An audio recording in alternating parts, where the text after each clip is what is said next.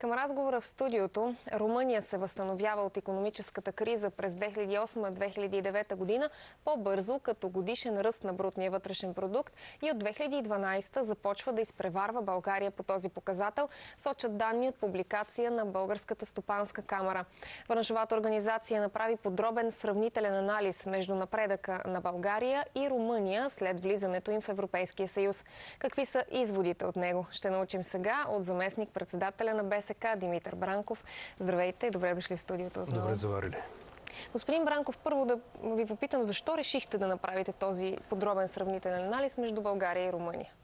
Вижте, повода може би не е пряко свързан с макроекономическото развитие в двете държави, в двете економики по-скоро. А, знаете, че напоследък чухме изявление, че изпреварваме румънците, че сме ги изпреварвали 2012, че 2018 ще ги изпреварим в един а, друг сектор. Става дума за реформите в правосъдието. Но това ни даде повод така да се вгледаме малко, макар и на общо, на макро ниво, да се вгледаме в а, резултатността на двете економики, на двете държави и то така в един дълъг крет от данни, започвайки от 2005 година до 2016, до когато имаме така по-надежни данни годишни за развитието на двете економики. Сега, доколкото си спомням, през 2007 година, когато ни приеха в Европейския съюз, двете економики започнаха почти на равна основа, що се отнася поне до брутния вътрешен продукт спрямо средното за Европейския съюз. Какво с, се случи с БВП? Нека да започнем от този показател, така като общ измерител на економиката.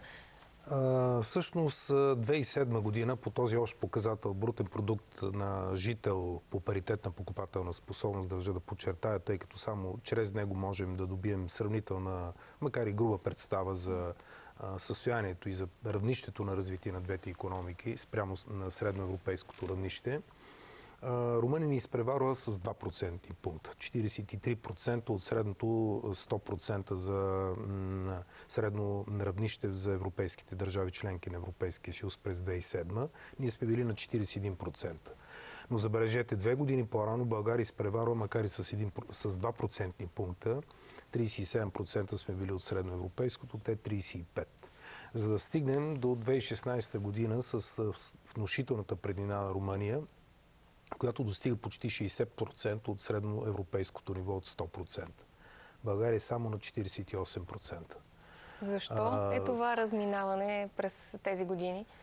Много са причините, много са обясненията. Едва ли ние можем а, да влезем във всички детайли, тъй като те, те предполагат един анализ на предходното ниво на, разви, на развитие на условия на двете економики предполагат анализ на економическите политики и резултатите, които са се случили от тези економически политики, изследвани през всичките тези години. Но ако трябва най-общо да почетаем, Румъния със сигурност има един по-категоричен напредък в областта на реформите, на бизнес, на инвестиционната среда. Това е абсолютно доказуемо. Само ще спомена примера с реформите в трудовото законодателство на Румъния. Макар, че там също правителствата преди 5-6 години се случи това, срещнаха, натиск, срещнаха отпор от страна на синдикатите. Един много внушителен, една внушителна група от обяснения, от причини, от фактори са свързани с различните монетарни системи в двете държави. Ние сме, от, знаете, от 20 години в валутен борт. Те упражняват политика на гъвкав валутен курс имат над 50% обесценка на леята, сравнено с периода от 2000-та година насам. 50% обесценка означава изключително силна подкрепа не просто за износа, но това е и подкрепа за развитие на сектори, които са с експортна насоченост подкрепа в, в посока на по-голяма заетост, по-ниска безработица, по-бързо нарастване на заплатите. И е, това може да се демонстрира. Фактически Румъния е най-добре представителната се държава по отношение на конвергенция, на степен на доближаване до средноевропейското ниво спрямо всички останали нови държави членки. Тоест да разбирам ли, че не става въпрос само за политическа воля и решения за напредък, а си има в крайна сметка и специфики на съответните страни, с които не можем да се преборим. Аз на първо място бих поставил точно първото, което споменахте, политическата воля и реалните стъпки. Тъй като а, така приспивни песни, сладки приказки за реформи, които само симулираме, нека това да не звучи като някаква политизация, но ако погледнем кои са сериозните реформи, които се случвали в страната, те не са чак толкова много през последните 5, 6, чи 10 години, ако след влизането в Европейския съюз. Това е едно. Второ, има много други обяснения. Качеството на институциите. Аз само ще спомена Централната банка на Румъния. Това означава капацитет, това означава, за да може да водите такава политика на гъвка валутен курс, означава и качество на институциите, в случая на монетарните институции.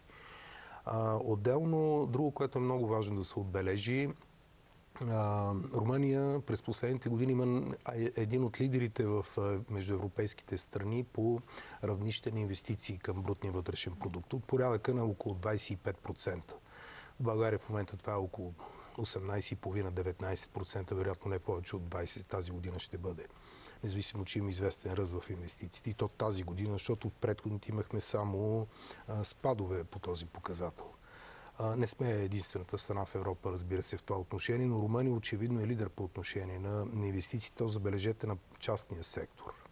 Един много важен момент, който искам да спомена, рядко му се обръща внимание, ми се струва, Румъния прескочи така наречената граница на 10 000 долара брутен вътрешен продукт на глава от населението. Това е така известния капан, в който а, една економика стига средно ниво на развитие, след което започва безпътицата. Тоест, а, много малко на брой економики са се справили бързо с това равнище и са осигурили след това напредък в един така по-бърз економически растеж, който да ги приближи към по-зрелите, към по-развитите економики. Значи това винаги е свързано с реформи, цялостни пазарни реформи, винаги е свързано с качество на растежа, с общата факторна производителност. Така че Румъния особено ако гледаме перспективите, краткосрочните пред нейния економически растеж, очевидно се е справила с този феномен а, един път и втори път тя е добре подготвена от гледна точка на предходните инвестиции, които са се случвали в предишните години. Така че Румъния, пак казвам, ние едва ли сме имали възможност в този кратък анализ да влезем във всички показатели и не е достатъчно само на макро ниво нали, да се отбележат тенденциите. Трябва да се видят така по- вътрешните двигатели на растежа, реформите, които са били предприемани, за да се видят нещата в дълбочина. Разбира се, много критики могат да бъдат отправени към винаги медал има две страни, знаете. Например, критиките основно на Европейската комисия, на анализаторите, на наблюдателите са така по-хлабавата фискална политика. Но Румъния може да си го позволи. България не може да си го позволи, защото е валутен борт. Няколко пъти е, споменахме инвестициите. Като че ли в последните години у нас малко така болна тема, бих казала. И вие от БСК няколко пъти сте подчертавали, че е проблем това, че намаляват значително инвестициите в българската економика в последните години. Къде можем да търсим причините за това, че се въздържат инвеститорите?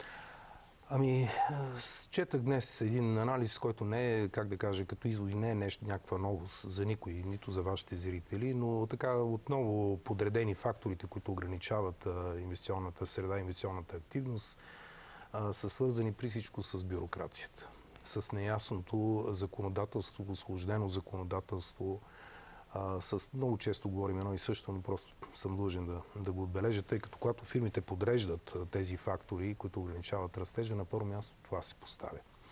Сега, има, разбира се, тук от една година на преден план изниква проблема с дефицита на кадрите, на квалифицираните на човешки ресурси и такива, които са готови да вземат съответните работни места.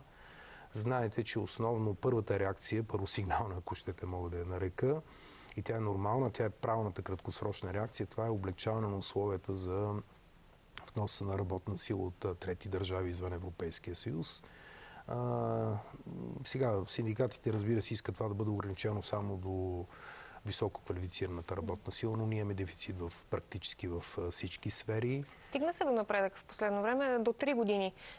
Четири всъщност даже 4. вече ще бъде увеличен срока, в който могат да получават разрешително. Да, доста облегчения. Даже и днес мисля, и закона за МВР промените бяха промени с закона за трудата миграция, някои свързани промени, облегчаване, скъсяване на сроковете за издаване на разрешителните за пребиваване, респективно за започване на работа включване в пазара на труда.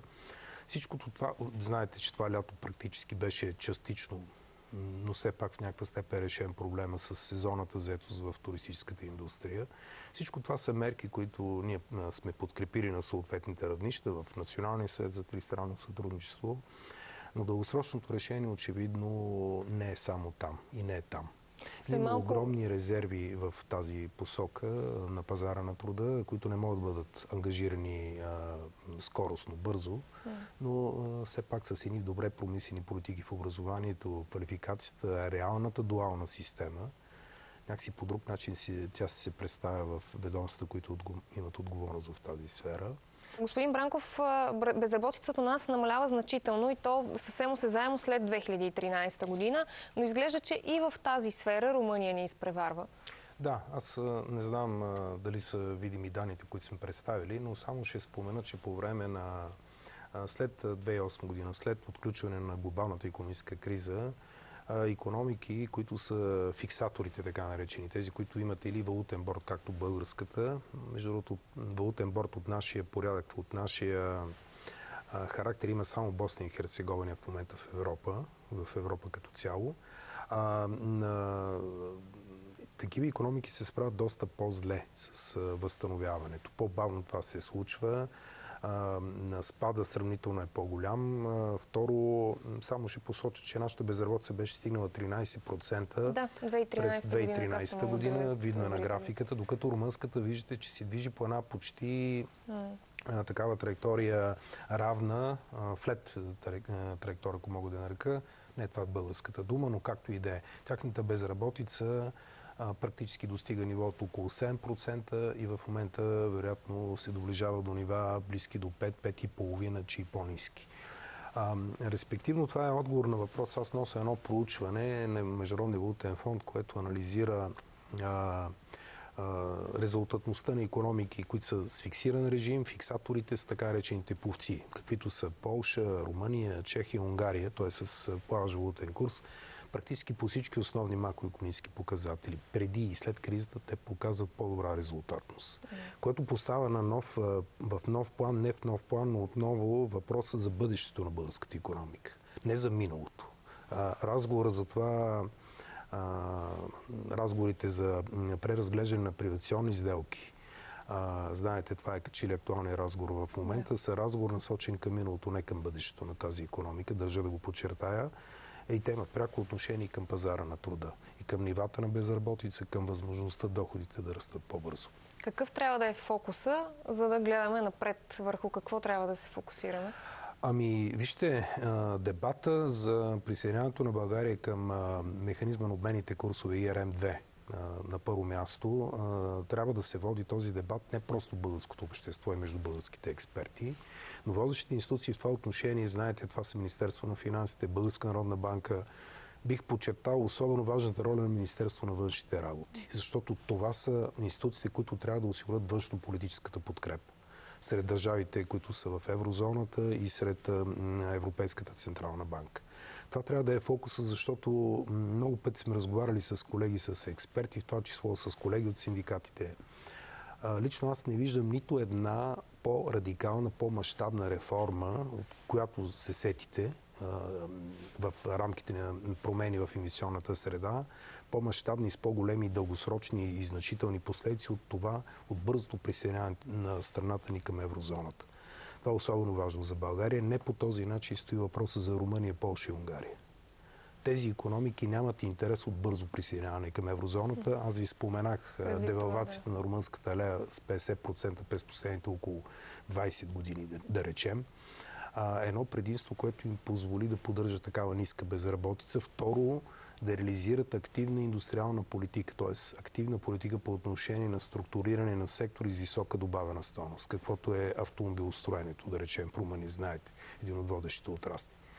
Също така Румъния произвежда хеликоптери, нещо, което трябва да подчертаем, изисква не просто квалифицирана работна сила, но и иновативен и иновационен потенциал в съответните сектори.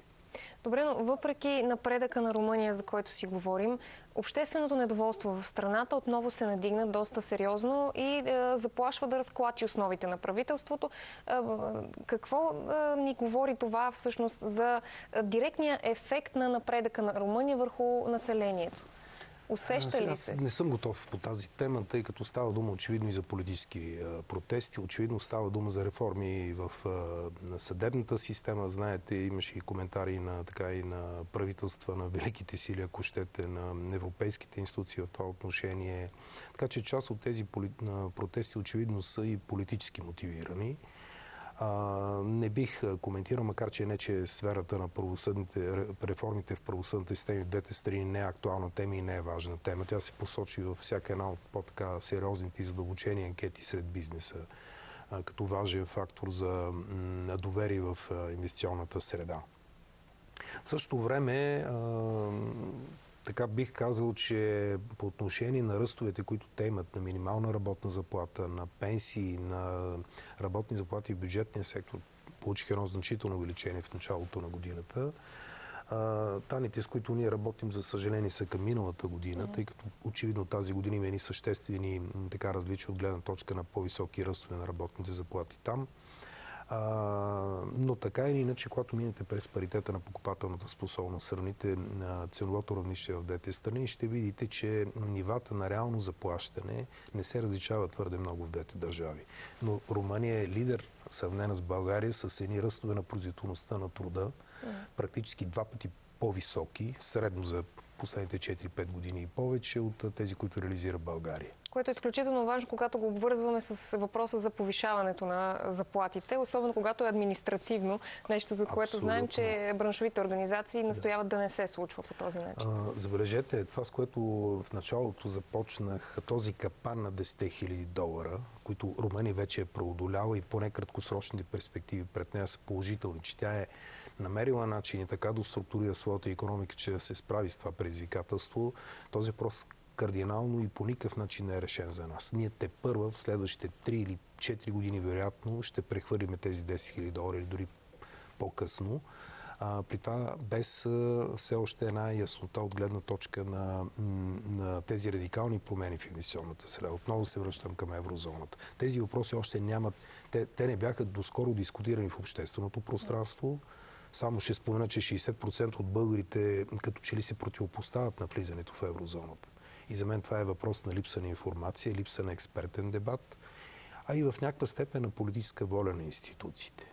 Ще спомена само, че въпросът за бързото ни присъединяване е поставен още през 2004 година в едно споразумение между, сключено между финансите, Министерство на финансите и БНБ, в което е казано простичко, че това е приоритет за България, че това трябва да се случи незабавно, колкото се може по-бързо след присъединяването и че трябва да стане при действащия валутен курс. Е, така че това е, от тогава нямаме промяна радикална на, на официалните позиции по този въпрос, но както виждате нямаме напредък, осезаем.